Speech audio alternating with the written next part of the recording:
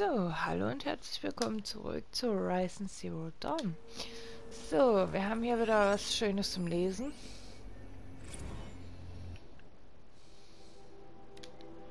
An alle Jessie-Fans, Textdaten.welt. Okay, ich will jetzt mal was loswerden, was einfach gesagt werden muss. An alle Jessie-Fans und die ganze Liebesschicksale, Fangemeinde. Jessica Sterling sollte Liebesschicksale nicht gewinnen. Das ist doch offensichtlich, wenn man mal ein bisschen aufpasst. Ich war mal wie ihr. Leute, bei der letzten Staffel wollte ich, dass Jessica gewinnt. Aber in Folge 3.01 ist sie zu weit gegangen. Habt ihr überhaupt mitgekriegt, wie sie Louis abserviert hat? Den süßesten Typen auf diesem Planeten. Er hat immer zu ihr gehalten. Die Alaska-Übernahme, als sie Harrier-Bots mitten im Kampf nicht mehr richtig funktionierten. Jessica war nur erfolgreich, weil Louis ihr den Rücken freigehalten hat. Er liebt sie und sie interessiert das überhaupt nicht. Und darum unterstütze ich jetzt Vernon. Die Entscheidung ist mir nicht leicht gefallen. Ich war zwei Staffeln lang Jessie-Fan. Jessica ist der einzige Grund, warum mich Sterling Malkit überhaupt interessiert, aber als Fan kann ich nicht länger jemanden unterstützen, der so herzlos ist. Luis, du hast was Besseres verdient. Na ja, gut. So. Hier ist wieder irgendwo was. Mal.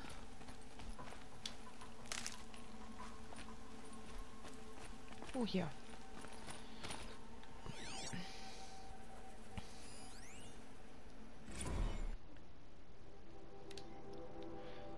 Chocolatebox Protokoll Textdaten.welt Ihre letzte bedeutsames Gespräch bei Cho Chocolatebox. War das der romantische Moment, von dem Sie Ihren Enkeln erzählen werden?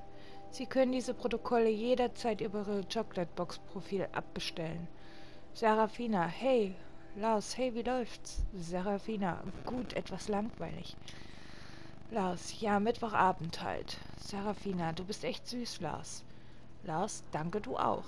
Serafina, hey, willst du mit mir in meinem privaten Salon chatten? Lars, oh, du bist ein Honeybot. Serafina, haha, was? Nein, Quatsch. Lars, okay, wenn du kein Honeybot bist, erzähl mir, welches das bewegendste Kunstwerk ist, das du je gesehen hast. Serafina, du bist echt witzig, Lars. Lars, erzähl mir von deinem letzten Liebeskummer. Du bist echt witzig, Lars. Erzähl mir von einem Erlebnis, von dem deine Freunde begeistert waren, das du aber nicht so toll fandest. Hey, willst du mit mir in einem privaten Salon chatten? Verdammt, du bist ja nicht mal ein guter Honeybot. Du nervst. Du bist echt witzig, Lars. Lars hat, es, hat diese Konver Konversation beendet. ja gut, irgendwas hat er wirklich nicht gestimmt.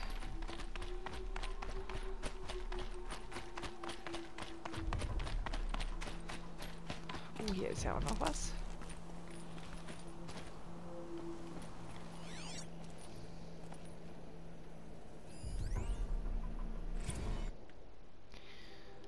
Okay, Protokoll 18.05.63. Textdaten.welt. Gina, hey, wo bist du? Haag, puh, sitze auf der 75 fest. Dieses Navi nimmt ständig die falsche Ausfahrt. Ernsthaft? Jep. Ich dachte, du kannst was zu essen mitbringen. Kein Tikka Masala? Der Nahrungsdrucker spinnt. Ich habe das Ticker-Modul installiert. Hat die ganze Küche mit rotem Proteinmatsch eingesaut. Tido O braucht acht Minuten zum Saubermachen. Wollen wir Pizza bestellen? Keine Ahnung, wann dieses verrückte Teil mich nach Hause bringt. Oh Mann. Ha.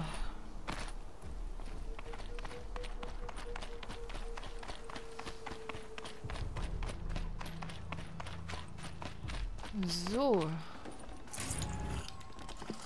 Mehr kann ich nicht tragen. Ja, ja, gut. So.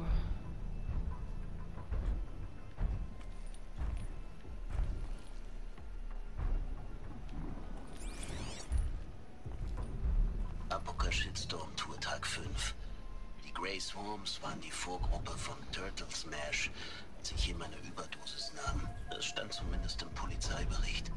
Ich war 15 Jahre alt. Als ich zwei Tage später im Krankenhaus aufwachte, war dein Gesicht das erste, was ich sah. Okay. Dann wollen wir ja mal schauen.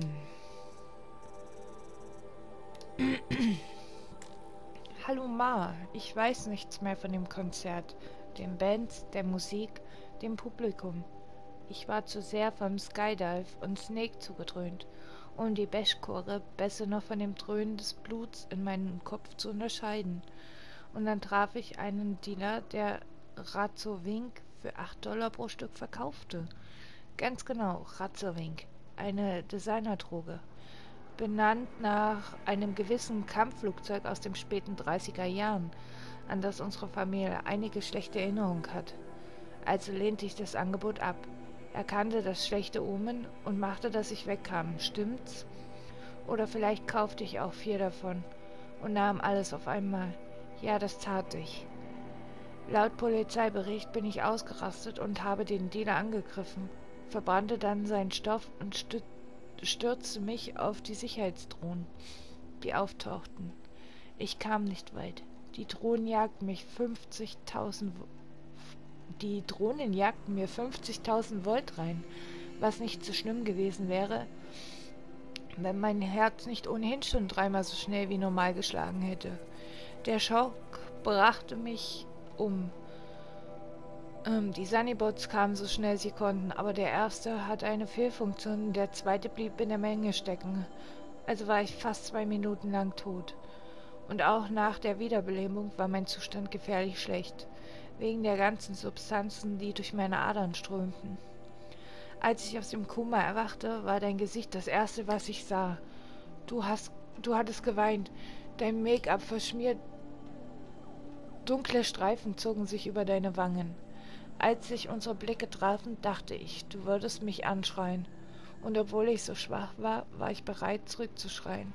Nicht einmal ein Kummer konnte mich von meinem Trotz heilen. Aber du hast nicht geschrien. Du hast weit leise gebeten, draußen zu warten. Dann hast du deinen Stuhl direkt neben mein Bett geschoben und meine Hand genommen. Ich wollte sie zurückziehen, aber ich konnte nicht. Es war kein fester Griff von dir, der mich davon abhielt, sondern es die Wärme deiner Hand, die Sanftheit, mit der du meine nahmst. Als du sprachst, war deine Stimme leise, fast ein Flüstern. Als ich deinen Baba vor sieben Jahren verloren habe, warst du mein einziger Grund weiterzuleben. Dein Blick fiel auf die medizinischen Instrumente um uns herum, auf die Schläuche, die blinkenden Lichter. Du hast mit dem Kopf geschüttelt. Warum lebst du, als ob dich niemand lieben würde? Begreifst du nicht, dass wenn du stirbst, all meine Hoffnungen, Träume und all die Hoffnungen, Träume deines Vaters mit dir sterben? Dann hast du mein Haar berührt und plötzlich brach ich zusammen. Oder vielleicht rückte auch alles wieder mit einem Knall an seinen Platz. Ich lag da und heulte für eine gefühlte Ewigkeit. Und die ganze Zeit zogst du deine Hand nicht weg. Und ich meine auch nicht. Am nächsten Tag willigte ich ein, eine Therapie zu machen. Ich wünschte, ich könnte sagen, dass ich nie wieder Drogen genommen habe. Aber wir wissen beide, dass es nicht ganz so gelaufen ist. Drogen sind böse. Hopp.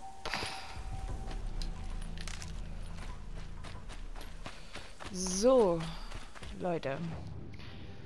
Das haben wir jetzt auch abgeschlossen. Was haben wir hier? Jagen für die Loge.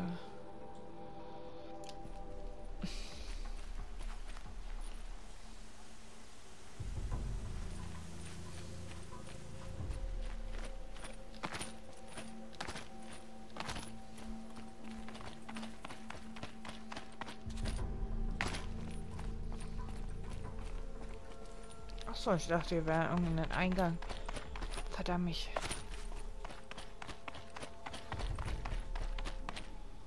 Nein! Oh Gott. Puh, das war knapp.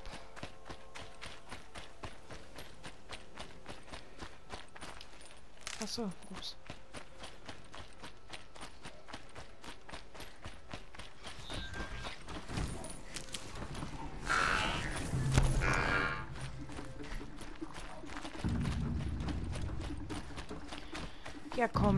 Mich einfach heute in Ruhe.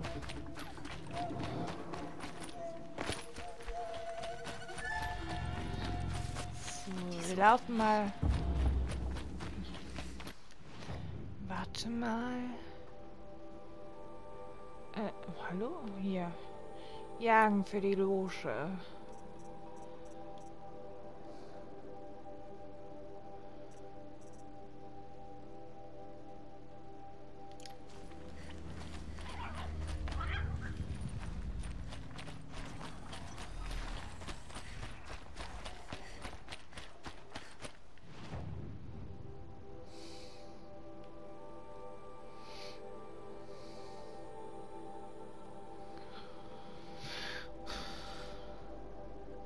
Taldriff.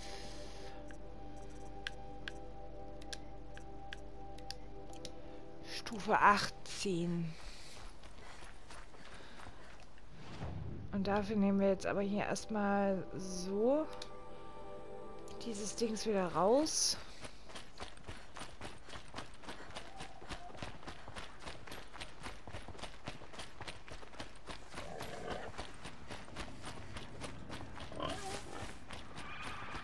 Oh Mist, oh Mist, oh Mist.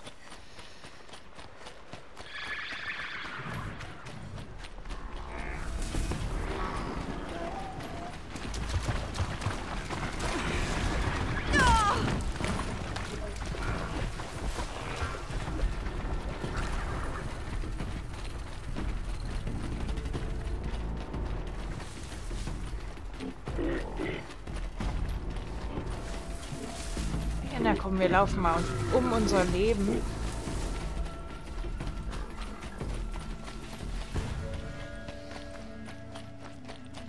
So, na, das sieht doch gut aus.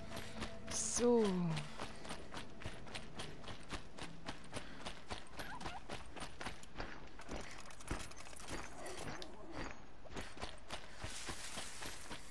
Dann gucken wir mal, was der hier anbietet.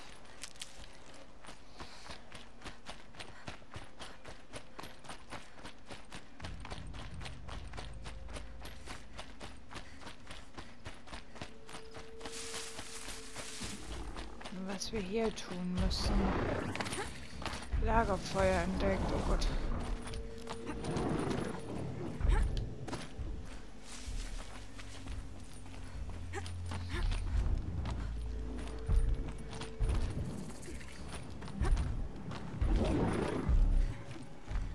So, erstmal ein Lagerfeuer entzünden.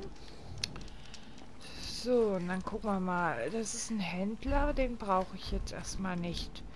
Rede mit Hüter. Du, du kannst wegbleiben. Ich habe keinen Streit mit den Nora. Und ich habe keinen Streit mit dir. Was ist das hier?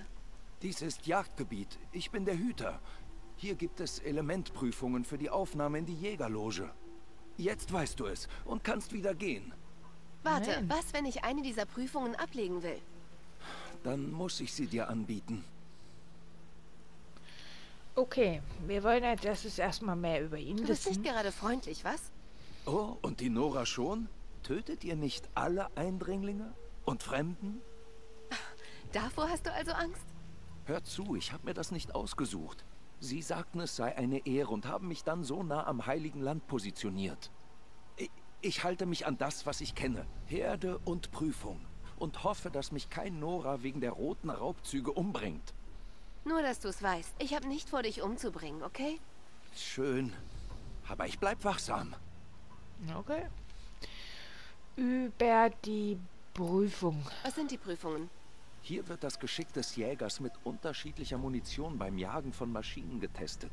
Wenn du meine Prüfung nicht schaffst, solltest du vielleicht eines der leichteren Jagdgebiete aufsuchen. Wie viele Jagdgebiete gibt es? Fünf insgesamt.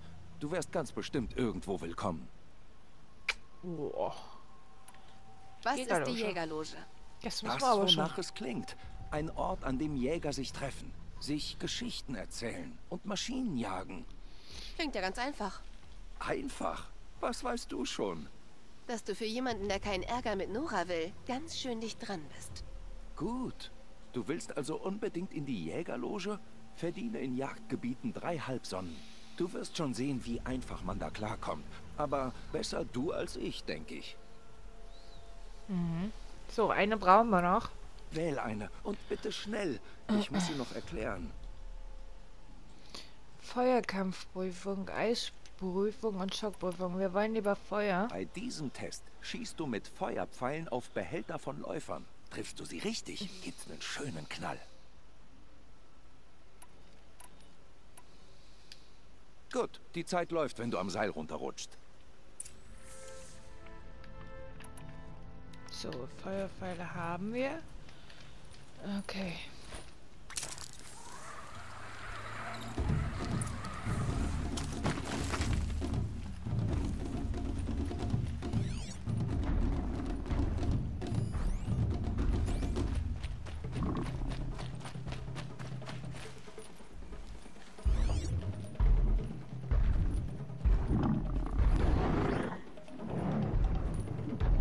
Ich die Brutstätte finde, in der sie hergestellt wurde, könnte ich herausfinden, Hoch.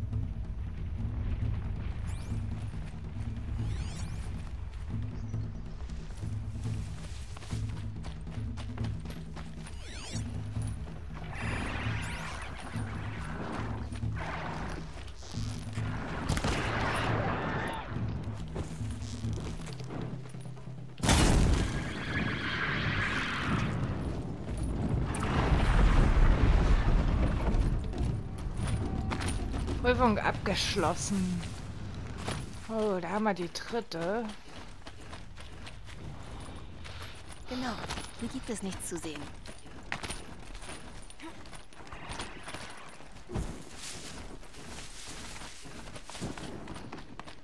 Haben wir die dritte blöde Prüfung abgeschlossen und drei Sonnen.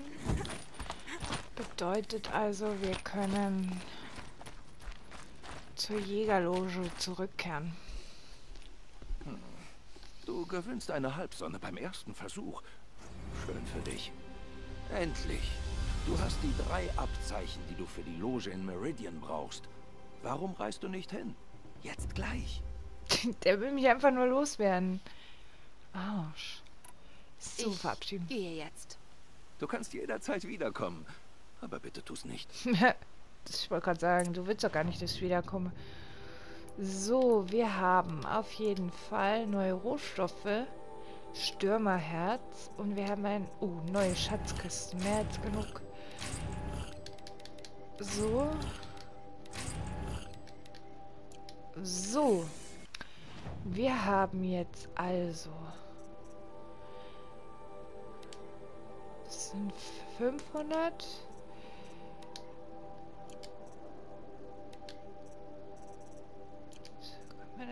mal 500? So, wir brauchen erstmal die Karte. Oh, guck hier. Da haben wir dann auch, oh, da haben wir dann auch unbedingt noch ein neues, eine neu verdobene Zone. Wir haben auch neue Maschinen. Eisbrüllrücken. Oh, der ist neu, ja, stimmt. So.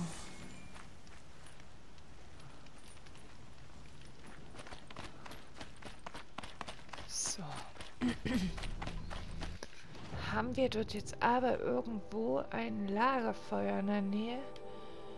Jawohl. Und da reisen wir jetzt mal hin. So, und dann gucken wir uns mal um oder gucken wir uns mal an, was das für eine Aufgabe ist.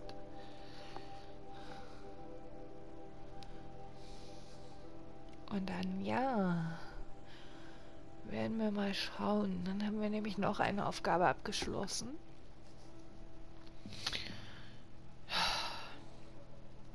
Dann hoffe ich, dass wir bald in die ähm, in die Ruine oben kommen.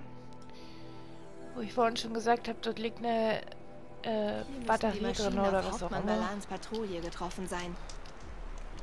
Versuche das, äh, untersuche das verlorene Dorf.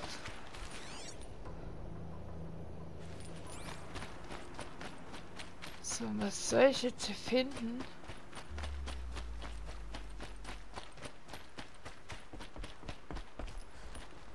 Okay, hier kommen wir also nicht rein. Ach, hier war ja eine verdobene Zone.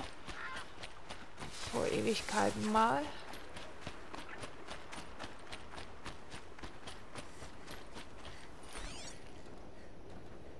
Oh, hier sind wir überall.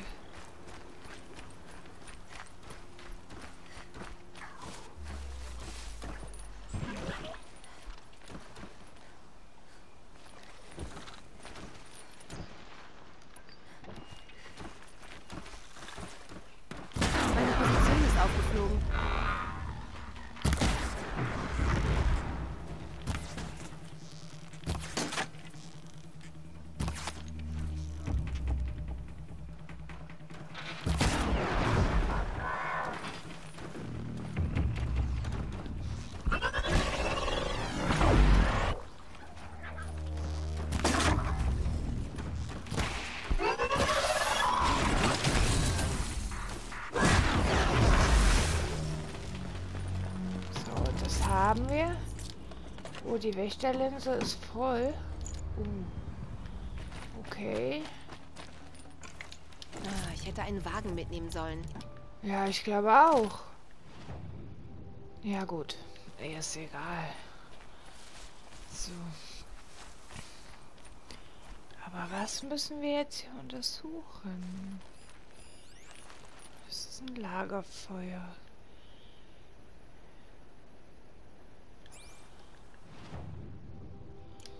So, hier ist irgendwie...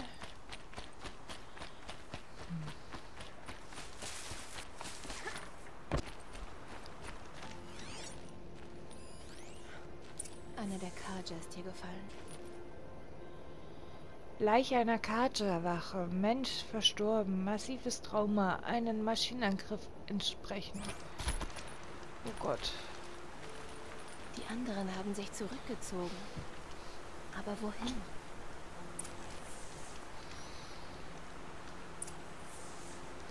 Folge den Spuren. Ach, hier unten.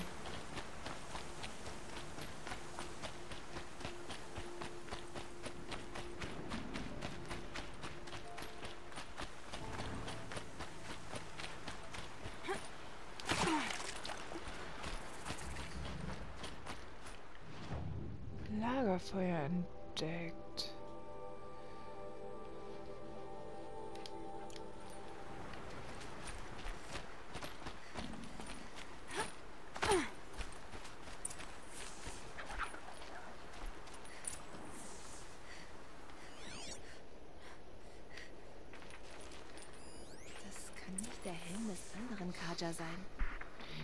Kaja-Helm mit Federn besetzt, gepanzerte Kopfbedeckung, erneuerte Metallkonstruktion beschädigt. Jemand hat fast seinen Kopf verloren und ist weggerannt. Spuren markieren. Da muss ich da lang. Ich muss erstmal schnell hier unten hin. So.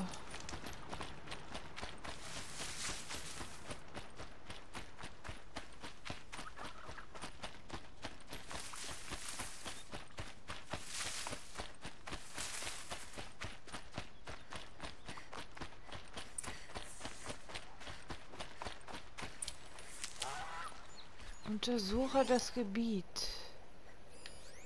Überall Blut. Blutlache, menschliches Blut. Die Menge deutet auf schwere, aber nicht tödliche Verletzungen hin. Er hat eine Maschine etwas ins Wasser gezerrt. Vielleicht hat er es zur Insel geschafft.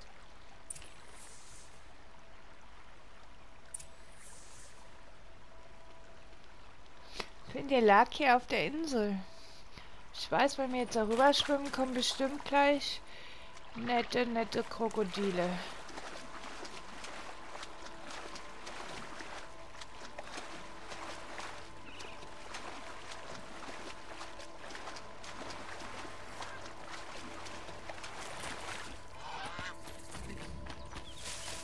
Maschine, ne? Hab's doch geahnt.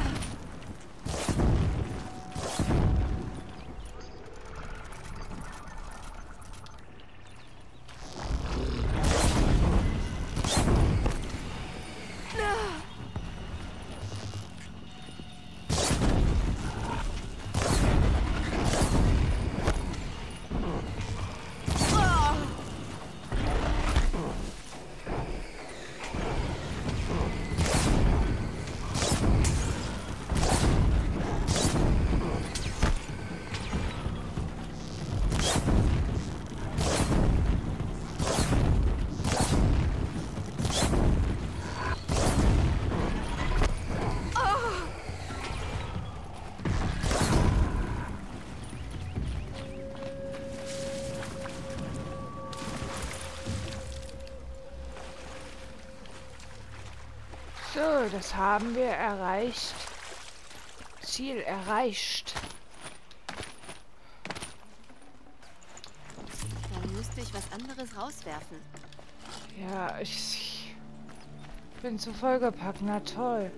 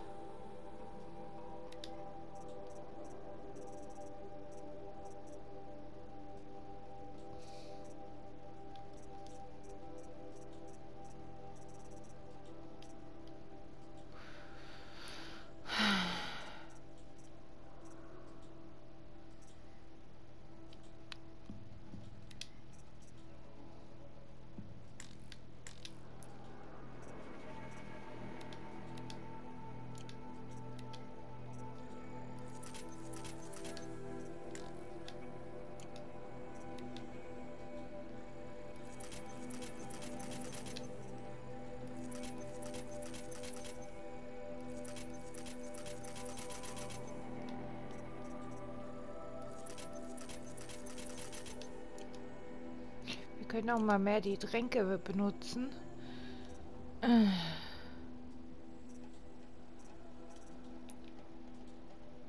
So, Spezialobjekte. Karja-Bogen. Ein filigraner gearbeiteter Bogen eines Karja-Soldaten beschädigt. Und hier Feuerwiderstandsdrang. Okay. Wir haben ja auch eine neue Maschine entdeckt. Eisbrüllrücken, das hatten wir davon schon. Ach so, ich muss auch draufklicken. Gut.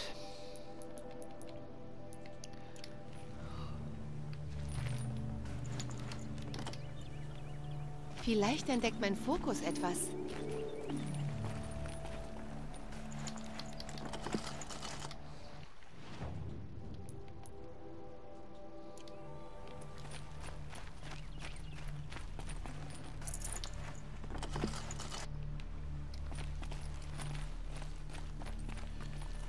So, warte mal.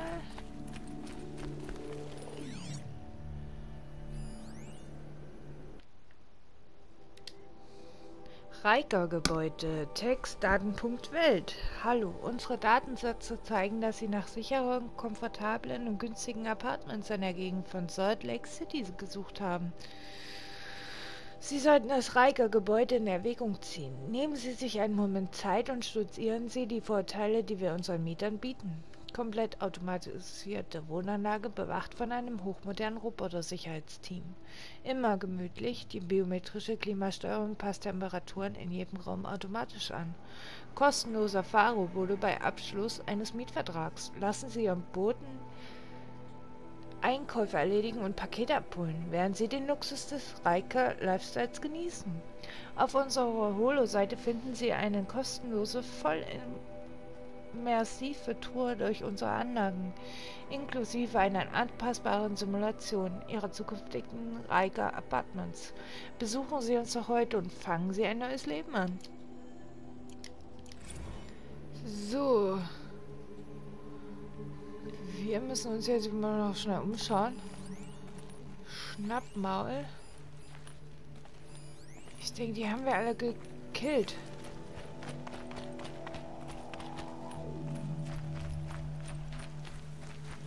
Ach so.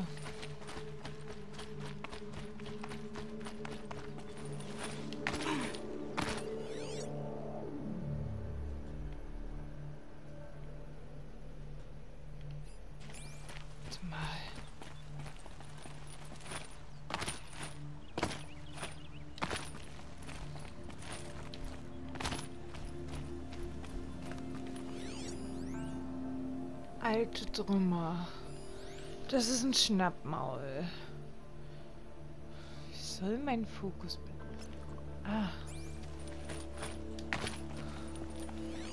So, aber haben wir jetzt hier irgendwo... Nein, haben wir natürlich wieder nicht. So.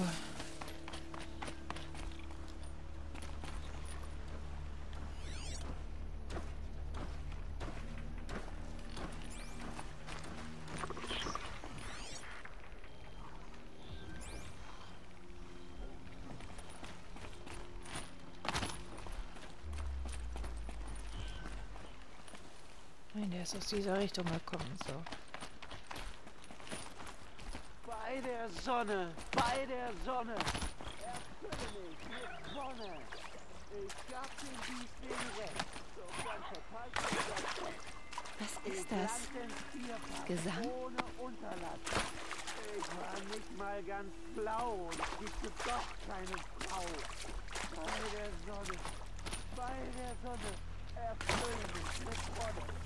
Ist das Tor versperrt, ist mein Leben nicht mehr wert. Wo ist das und meine Leiche schlapp. Ich will wieder nach Haus. Dann rücke ich nie mehr aus. Als Kind fiel mir das irgendwie leichter. Bei Da der ist er. Sonne. Wo ist sie jetzt? So. Das schließen wir noch ab. dachte Und nicht, dass man mich findet. Und schon gar nicht eine Nora. Und ich dachte nicht, einen halbnackten Kaja zu finden, der Trinklieder singt. Bitte entschuldige mein Verhalten. Ich dachte, ich wäre tot. Dann komm. Dein Hauptmann will, dass ich dich zum Tagturm bringe. Ich weigere mich, von einer Nora geführt zu werden. Wie ein Gefangener. Gut. Dann geh doch allein. Warte. Ich hatte einen Kampf mit einem Schnappmaul. Er hat meine Rüstung und meinen Bogen verschlungen. Der Dieb ist noch da, im Wasser. Das erklärt den Bogen bei seinem Kadaver. Du hast es besiegt? Allein? ja, Stell dir vor. Willst du den Bogen oder nicht? Danke. Ich. Ich wollte nicht in der Fremde sterben. Wie meine Männer. Die Sonne sei mit ihnen.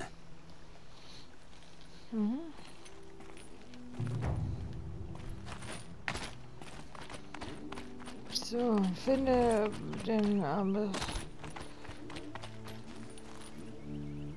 Questbelohnung. Sind wir jetzt schon fertig?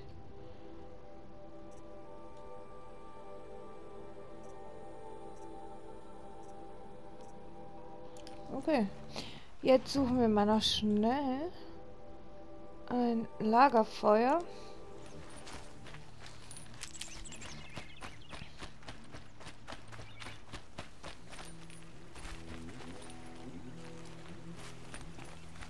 Und dann beenden wir diese Folge für heute. Und dann schauen wir mal, Folge noch alles machen können. Aber das machen wir dann beim nächsten Mal. Ich denke mal, dann machen wir erstmal diese verdorbene Zone noch.